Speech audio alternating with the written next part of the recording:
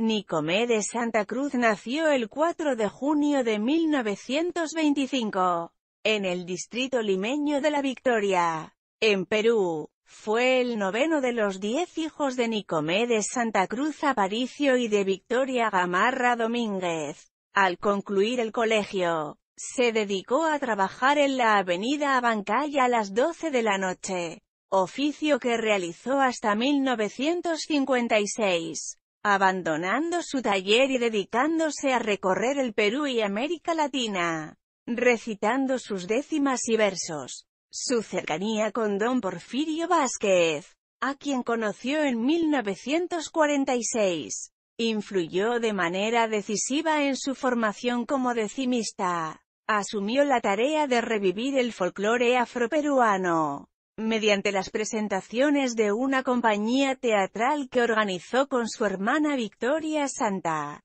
Cruz, 1956 a 1961, a través de actuaciones radiofónicas y sus colaboraciones en el diario Expreso, Perú, El Comercio, Perú, y otras publicaciones. Debutó en 1958 en el Teatro Municipal de Buenos Aires en Argentina, con la compañía Estampas de Pancho Fierro, dentro de un espectáculo denominado Ritmos Negros de Perú. También incursionó en el periodismo, en la radio y la televisión.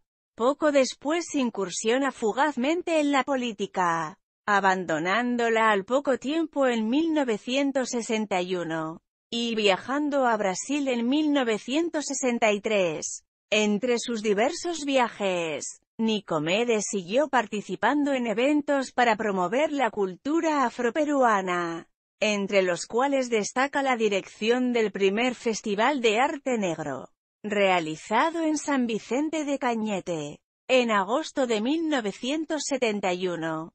Otro de sus viajes tuvo como destino África en 1974, donde participa en el coloquio Negritudet Amérique Latine. Ese mismo año viajó a Cuba y a México, participando en una serie de programas televisivos. A estos países le siguieron Japón, 1976, Colombia, 1978, Cuba, 1979. Panamá, 1980. Desde 1981, se trasladó a Madrid, donde residió hasta su muerte. Allí fue periodista en Radio Exterior de España.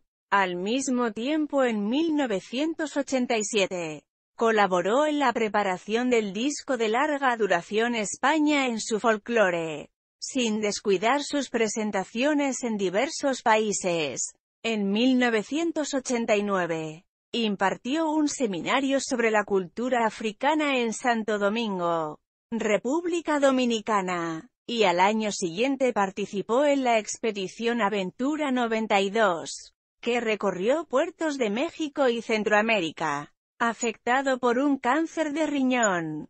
Falleció el 5 de febrero de 1992, después de haber sido intervenido quirúrgicamente en el Hospital Clínico de Madrid.